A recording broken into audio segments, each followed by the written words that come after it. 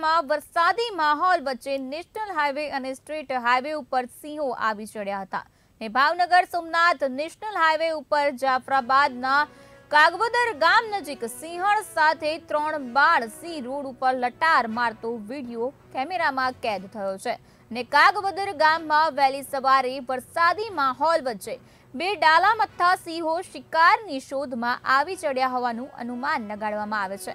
ને વાહનોની અવરજવર વચ્ચે સિંહો હાઈવે ઉપર ચડતા સિંહોની સુરક્ષાને લઈ મોટો ખતરો ઊભો થયો હતો. ત્યારે આ વિસ્તારમાં વન વિભાગના પેટ્રોલિંગના અભાવે સિંહો ઉપર અકસ્માતનો મોટો ભય સેવાઈ રહ્યો છે.